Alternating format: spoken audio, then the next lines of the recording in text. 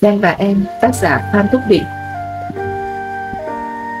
Thu đã về đậu kín lên hàng cây Nhuốm vàng au lên từng chiếc lá.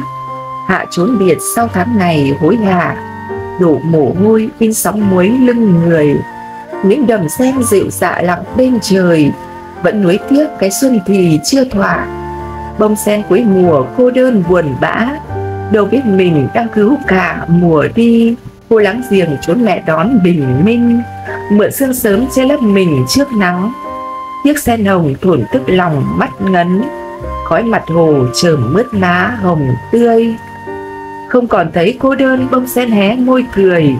Hương lóng lánh sơ khuôn hình thiếu nữ, Môi em tươi quyện vào sen nóng hồi Nắng vén sương ảo ảnh cả khung trời. Hoa sen sóng sánh làm thêm Nở ra những đóa hữu tình nên thơ. Trời còn cho hạt mưa thưa, Cho hoa tắm mát, thêm đưa hương nồng. Hỡi những đóa hoa còn ở lại, Tỏa hương khoe sắc giữa cuộc đời, Thoang thoảng khẽ khàng trong làn gió. Vài cánh tàn lay động mặt ao, Có đàn cá thi nhau bơi lội, Có dải lá xanh viền đã xoăn vàng. Tựa như người kể chuyện thời gian. Sen tàn hết là mùa thu sẽ sang.